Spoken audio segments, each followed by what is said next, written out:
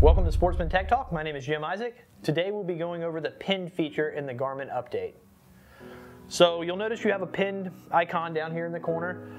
This basically is like a favorites icon. So all you're gonna do is you just find the, the icons that you use most. Like I use nav charts, radar, vessel, sonar, things like that. So I'm just gonna hold the icon down, pinned, hit okay, go to one of the other ones you want. I'll do radar, I hit OK, I'll go to my vessel. So then basically at the bottom down here, it's gonna show a little left or right arrow and you can just scroll between your items. So it makes it super quick, very easy to get to.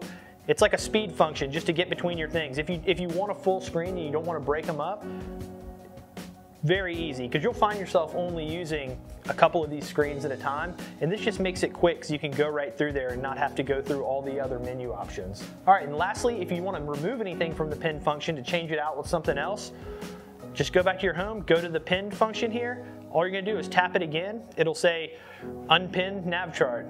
Yes. It removes it from your list and then you can just add another function or take another one away.